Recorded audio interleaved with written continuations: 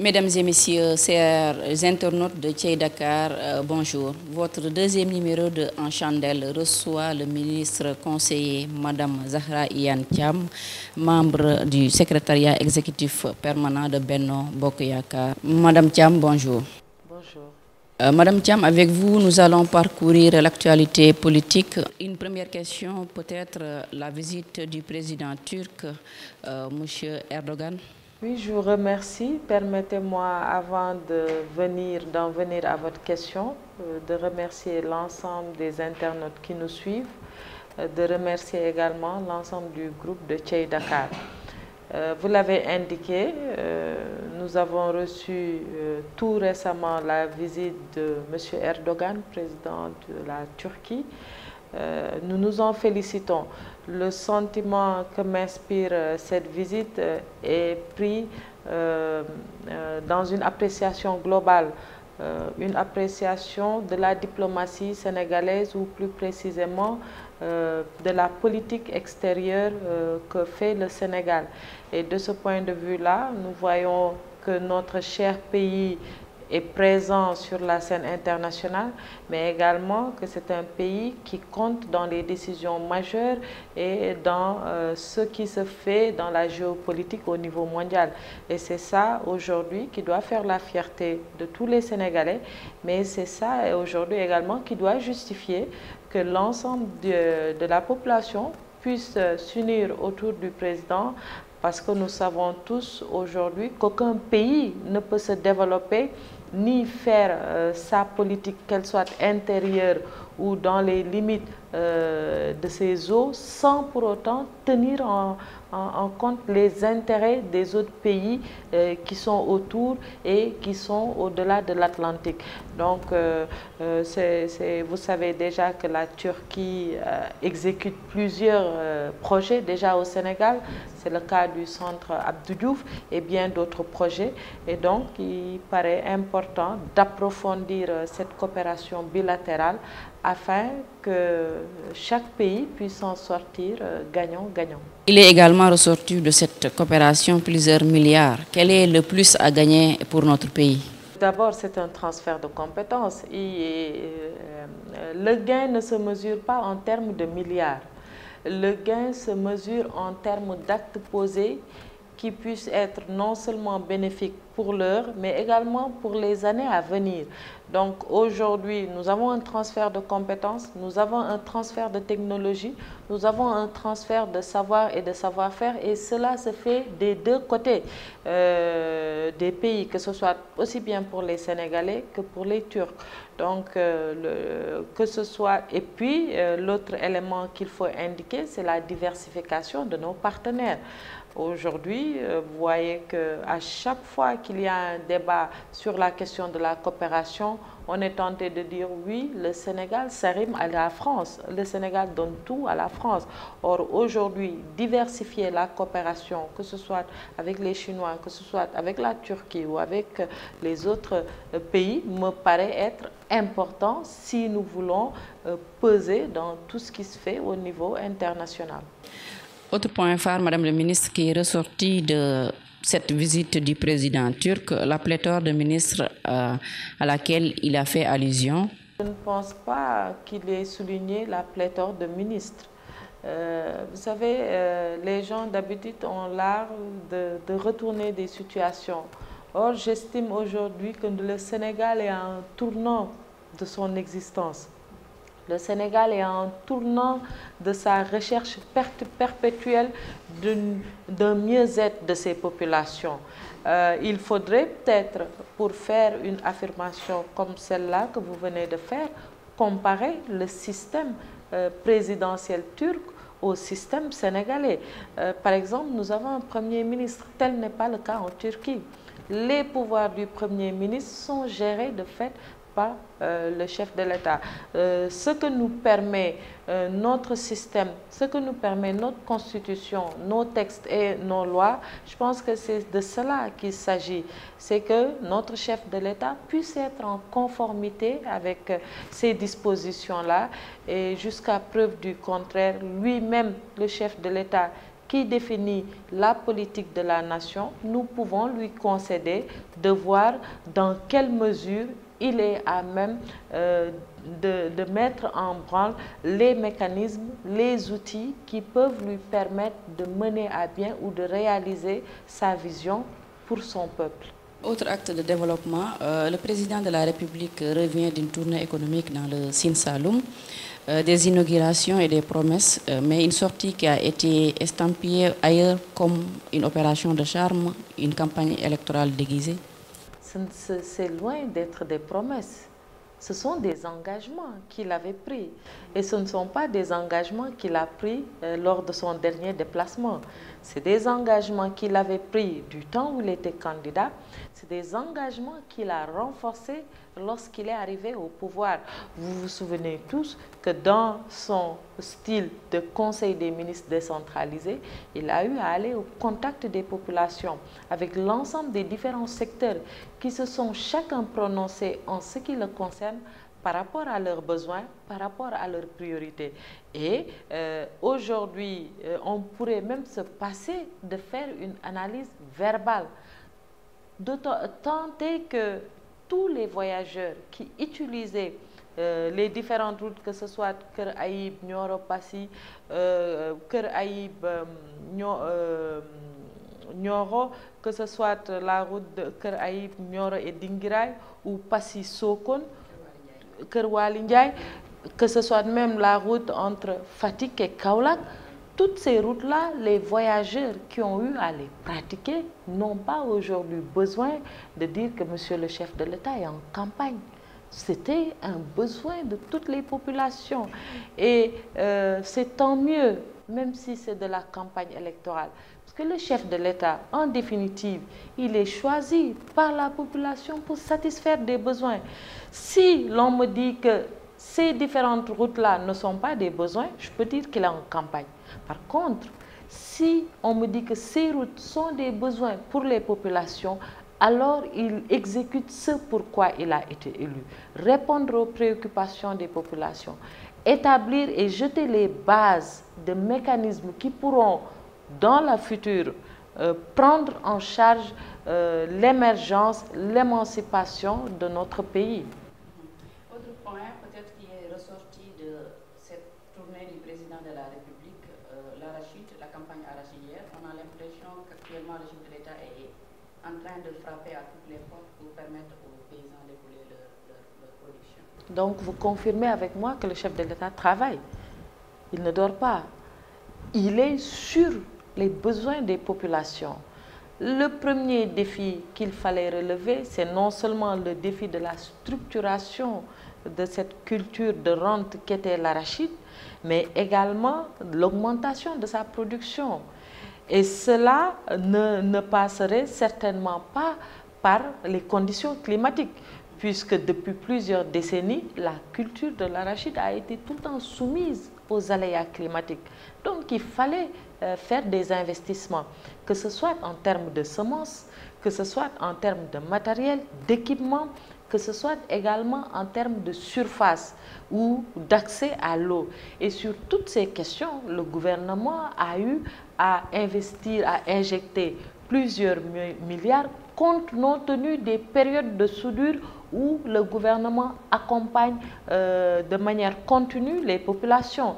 Et cela sans compter également euh, tous les bons impayés, euh, toute cette période de crise que nous avons eu à connaître. Donc aujourd'hui, faire passer la production agricole du Sénégal de 400 000 à 1 400 000 de tonnes est une prouesse. Une autre prouesse, un autre défi est également de prendre en charge toute la chaîne de valeur qui entoure euh, cette culture-là, que ce soit la culture de l'arachide ou la culture euh, des autres produits. Donc, euh, c'est bien qu'on puisse, euh, dans cette deuxième phase euh, des défis à relever pour ce secteur-là, euh, prendre en charge toute la chaîne de valeur et aller vers la transformation du produit. Parce que c'est ça qui peut apporter une valeur ajoutée à l'économie. Peut-être on va parler du, processus électoral. Nous vous connaissons très impliqués. Est-ce que vous avez une analyse profonde par rapport à ce processus électoral et au, électoral et au dialogue, par exemple? Sur le processus électoral, vraiment, j'appellerai euh, les acteurs de l'opposition qui se veulent être significatifs et qui ne le sont aucunement, à savoir raison garder. Parce qu'aujourd'hui, demander, réclamer l'audit du fichier, réclamer l'audit du processus électoral, quand cela est une page tournée, me paraît être de la politique politicienne.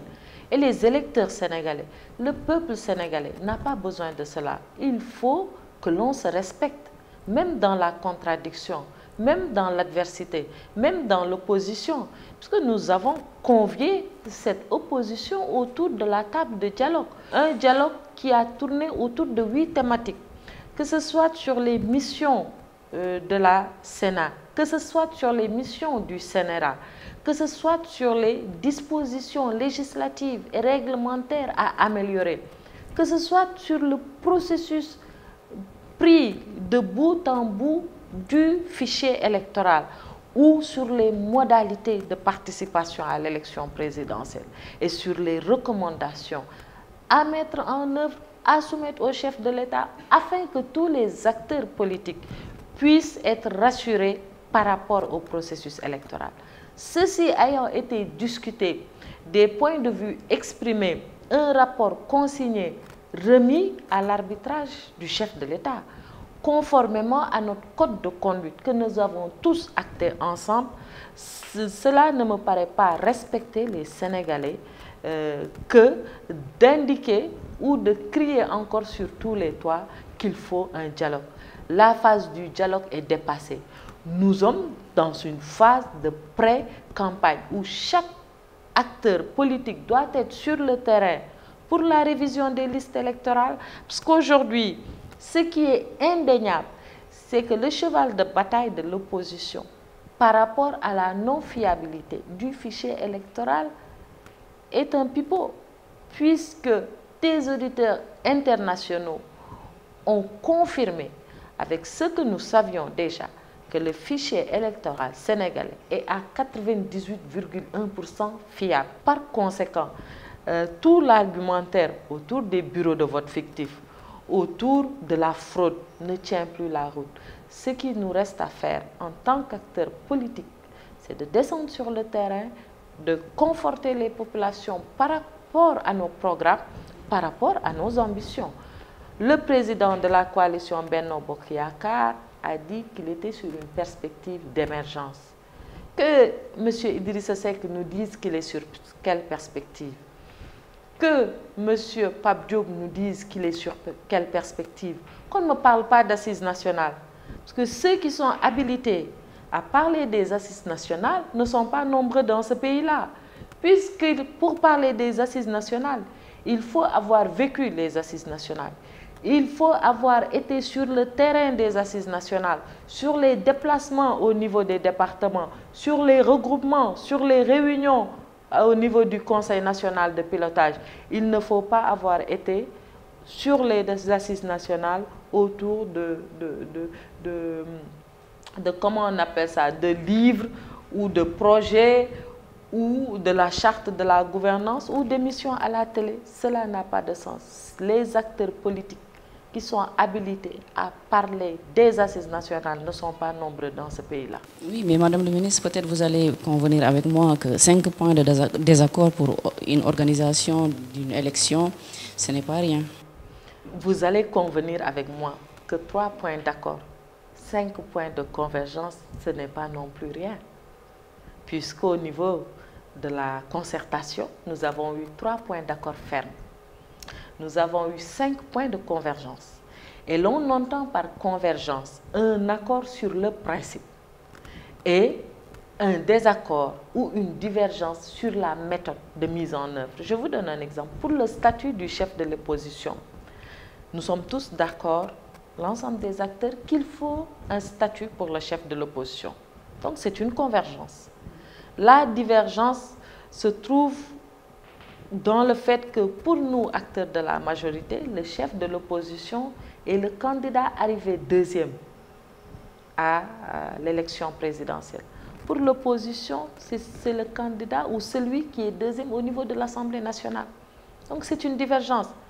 Les conclusions euh, du processus électoral ne doivent pas se retenir ou se mesurer à l'aune de nombres arithmétiques, mais plutôt sur les points qui ont été traités et sur les positions des uns et des autres. Et aujourd'hui, nous avons eu trois points d'accord, cinq points de convergence, deux points de divergence, cinq points de désaccord et sept recommandations. Et parmi les désaccords également, il y a des points qui, dans le, dans le dynamisme des choses, deviendront des points d'accord. Puisque parmi les désaccords, il y a le parrainage, le bulletin unique. Pour le bulletin unique, nous avons dit, nous ne pouvons pas, à la veille d'une élection, introduire un outil qu'il faille, euh, euh, comment on appelle ça, euh, essayer surtout pour l'importance d'une élection présidentielle. Et nous avons proposé à la place la mise d'un comité technique chargé d'étudier et d'approfondir la question. Je vous laisse, vous et vos internautes, voir si c'est une position responsable. Étudions en profondeur, prenons toutes les considérations en compte et décidons en toute connaissance de cause. Et euh, bien entendu, sur tous les autres points, c'est le même état d'esprit qui a prévalu. Mhm. Mais vous noterez également que, que dans ce dialogue-là, euh, l'opposition dite significative, même si vous n'acceptez pas, n'a pas participé. N'est-ce pas un non-sens? Euh, Vous remarquerez vous-même, ce n'est pas un non-sens. L'opposition qui a boycotté a décidé de boycotter par rapport à ses propres intérêts, pas par rapport à l'intérêt du peuple sénégalais. Et aujourd'hui, le pur qui était à la table de négociation, Monsieur euh, Ablaï Baldé, qui était à la table de négociation, Maître Aïssata Tal Sal, euh, honorable Aïssata Mbodj, vous n'allez pas me dire que toutes ces personnalités politiques réunies qui peuvent vous faire le tiers de l'électorat ne peuvent pas représenter les acteurs sénégalais.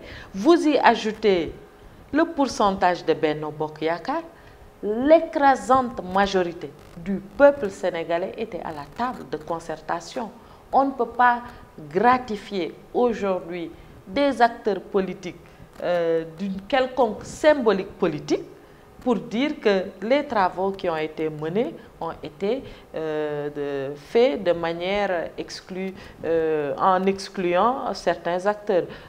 Je, ne le pense pas. Mais, là, vous avez cité les, les responsables de l'opposition que l'autre parti considèrent comme les tops de Benno Bokoyaka dans leur, dans au sein de euh, l'opposition de, Je laisserai les principaux concernés répondre.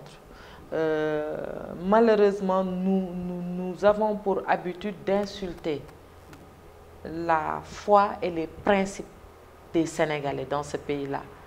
Comment peut-on juger un Sénégalais en, en, en d'abord réaffirmant en protégeant ses principes à soi et dévaloriser les principes d'autrui? Moi, en tout cas, je n'ai aucune appréciation, aucune connaissance, aucune affirmation à faire sur des prétendus taux. Ce que je sais, c'est que nous, au niveau de Benno Bokyaka, nous nous évertuons à faire ce pourquoi les Sénégalais ont eu la confiance, ont en tout cas euh, choisi le candidat de Benno Bokyakar, notre leader, le président Macky Sall, à mettre en œuvre ces politiques publiques. Maintenant, politique pour politique, nous avons un peuple extrêmement mûr qui sait faire la part des choses et qui sait choisir le moment venu. Mhm.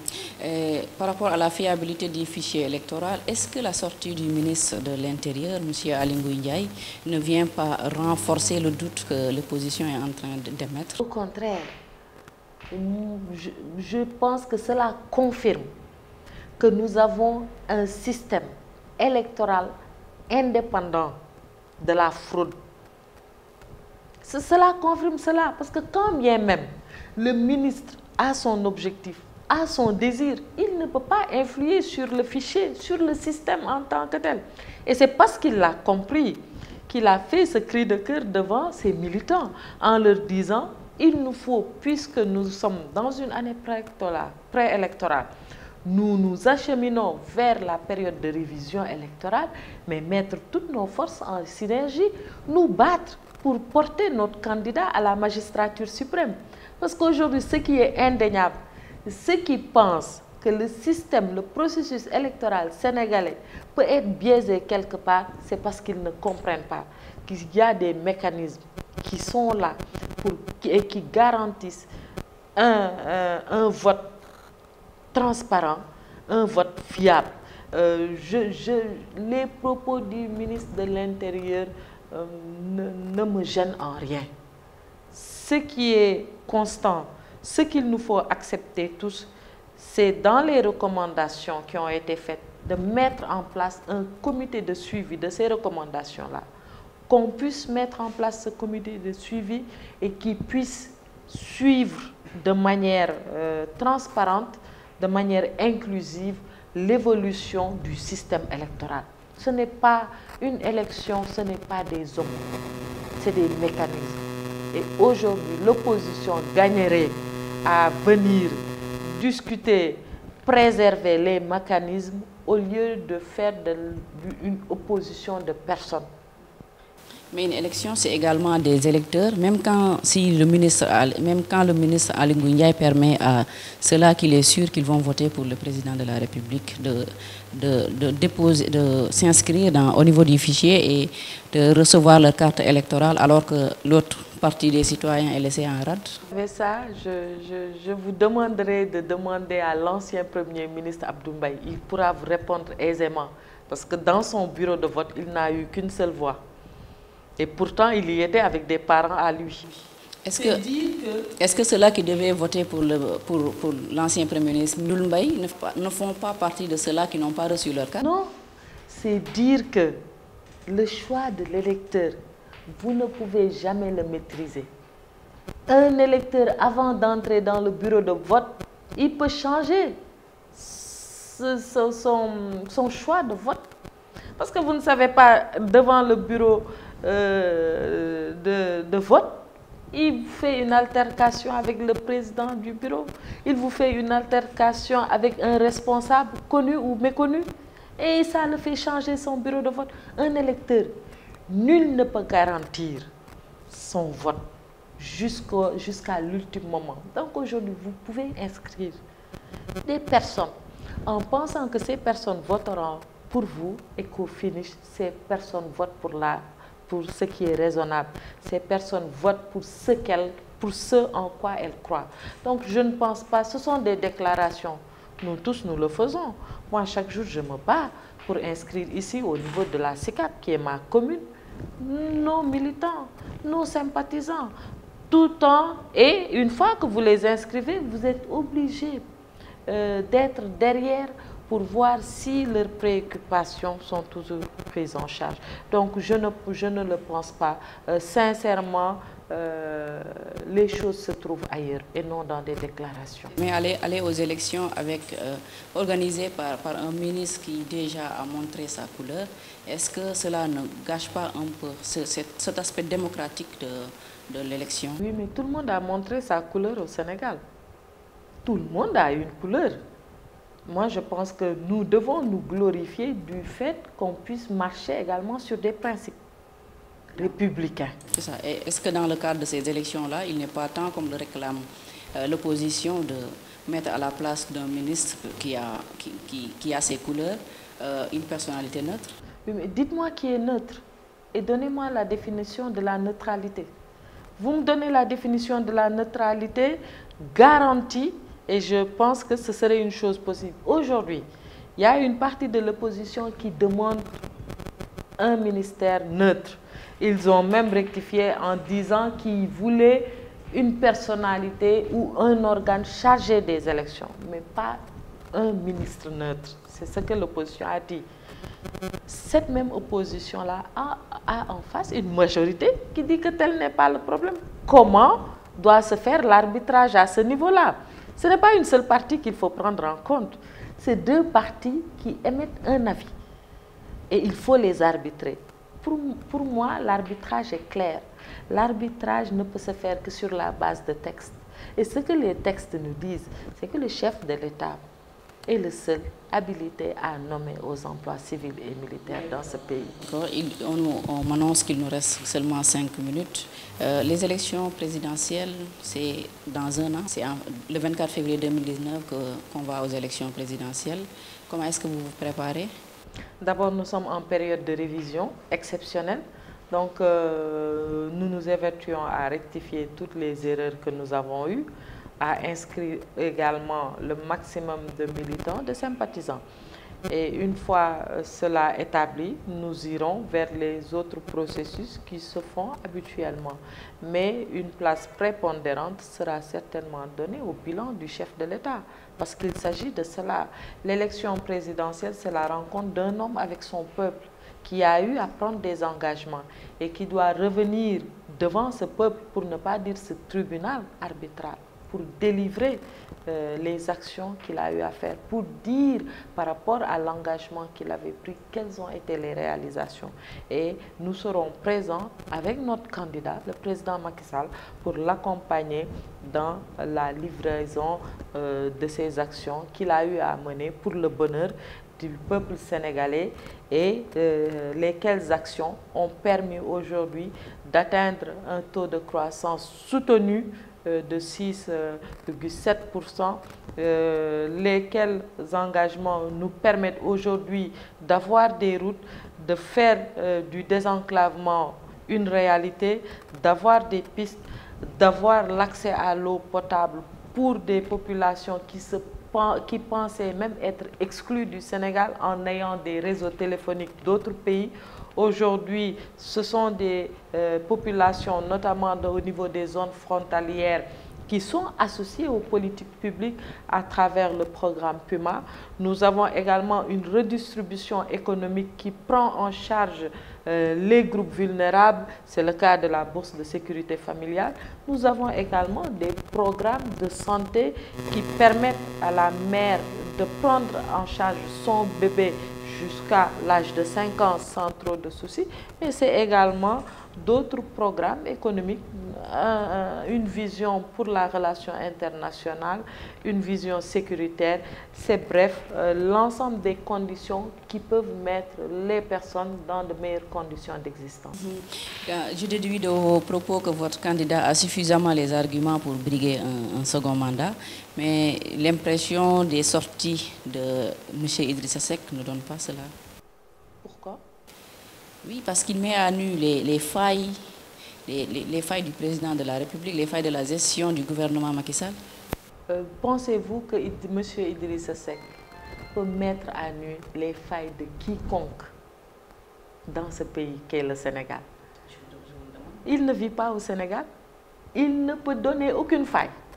M. Idrissa Seck vit 15 jours par année au Sénégal.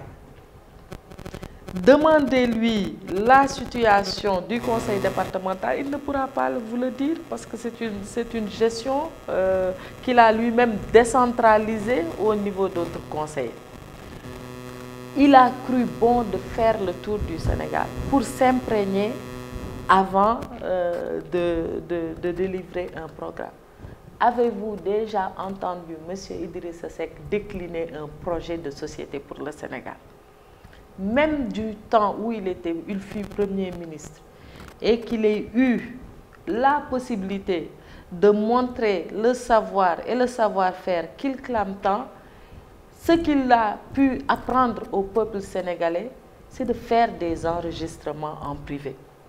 Ce qu'il a pu apprendre au peuple sénégalais, c'est de décrédibiliser la première institution de ce pays en le ramenant à sa naissance originelle. Monsieur Idrissa Seck aujourd'hui ne peut pas constituer une référence pour le peuple sénégalais dans la mesure où il n'habite pas au Sénégal. Il y a aussi le, le, dernier rapport de Amnesty International qui parle de recul des libertés. Une lecture? Oui, vous savez, le, le recul des libertés peut s'apprécier à différents niveaux et par rapport également à ses objectifs. Nous savons tous que les ONG ont une ligne de conduite. Et c'est ça qui fait avancer la démocratie. Parce que rappelez-vous, nous-mêmes, avant d'être au niveau de la majorité, nous avons été dans l'opposition, nous avons vu ce que nous avons subi au niveau de l'opposition et le point euh, de 2012 et ce que nous vivons présentement en 2018, je pense qu'il y a eu largement, très largement des efforts qui ont été consentis à ce niveau-là. Merci. On, fait signe qu'on a épuisé le temps. Euh, est-ce que vous avez un dernier mot? Un dernier mot pour nos parents chrétiens qui sont en période de carême. Euh, nous espérons qu'ils puissent passer cette euh, étape dans les meilleures conditions et que toutes les grâces liées à cette période puissent se faire ressentir au niveau de chaque foyer du. Merci. Merci. Euh, C'était tout pour votre deuxième numéro de En Chandelle qui recevait le ministre conseiller, Mme Zahra Ian Thiam. Merci, à la prochaine.